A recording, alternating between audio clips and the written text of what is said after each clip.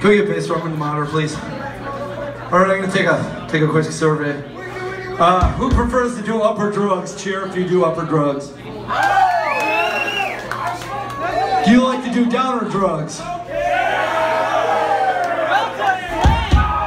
All right, the irony is every night the downer people are always way more excited than the uppers. I find that purely ironic. But there is one reason we're all here, besides most people like to drink, but I'm actually straight edge and I don't give a fuck what anybody does. You do what you do, and you do it good. This is about the best fucking drug on planet Earth. Called rock and roll's one hell of a drug.